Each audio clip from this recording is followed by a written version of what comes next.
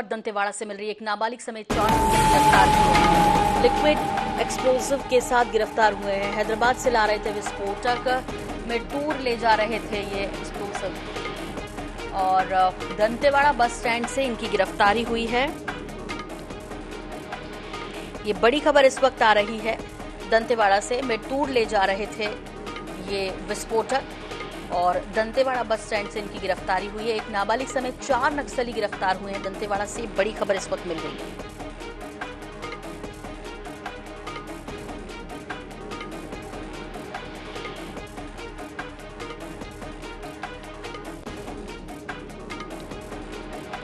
बड़ी खबर इस वक्त की दंतेवाड़ा से, जहाँ पर बस स्टैंड से गिरफ्तारी हुई है और एक नाबालिग समेत कुल चार नक्सली गिरफ़्तार किए गए हैं।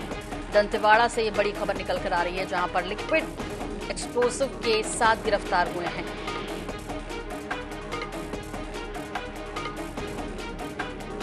मिरतूर ले जा रहे थे ये विस्फोटक। दंतेवाड़ा बस स्टैंड से इन्हें गिरफ़्तार कर लिया गया। एक नाबालिग सहित चार नक्सली हैं जिनकी गिरफ्तारी हुई है।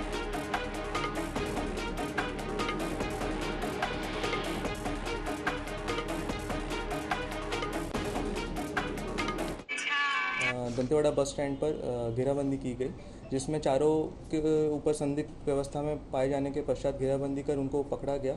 उनसे पूछताछ तलाशी करने के बाद उनके पास से हमें विस्फोटक की सामग्री बरामद हुई, जो कि कुल चारों विस्फोटक सामग्री का टोटल वेट जो है वो 25 किलो के आसपास है और कैश उनके पास से लगभग चौरासी हज़ार प्लस मोबाइल प्लस अन्य दैनिक उपयोगी सामान जब्त किया गया। तो पंकज भदौरिया इस खबर पर हमारे साथ जुड़ गए हैं। पंकज, आपसे समझना चाहेंगे विस्तार के साथ ये लिक्विड एक्सप्लोसिव लेकर जा रहे थे, गिरफ़्तार हुए एक नाबालिग भी है इसमें विस्तार के साथ।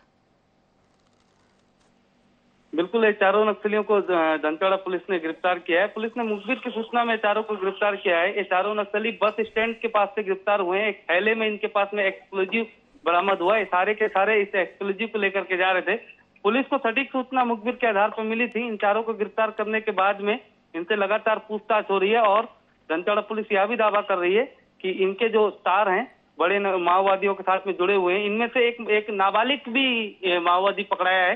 जी जिसको लेकर के पुलिस और भी खुलासा करने वाली। जी। जी, बिल्कुल। पंकज, हालाँकि ये हैदराबाद ले जा रहे थे और किस इरादे के साथ ये निकले थे, इस बारे में भी कुछ इन्होंने पूछताछ में बताया है क्या?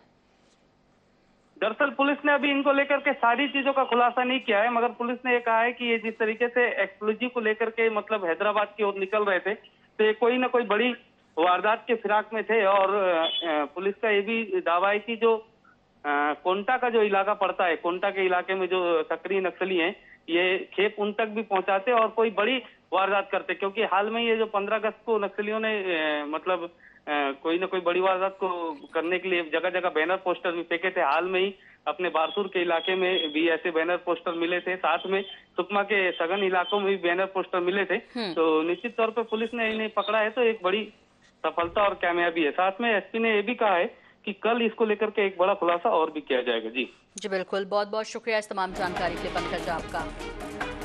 लिक्विड एक्सप्लोजिव था, जिसके साथ ये गिरफ़्तार हुए हैं। एक नाबालिग समेत कुल चार नक्सली गिरफ़्तार हुए हैं। हैदराबाद से ला रहे थे विस्फोटक। मिरतूर ले जा रहे थे एक्सप्लोजिव को। और, दंतेवाड़ा बस स्टैंड से इनकी गिरफ्तारी हुई है।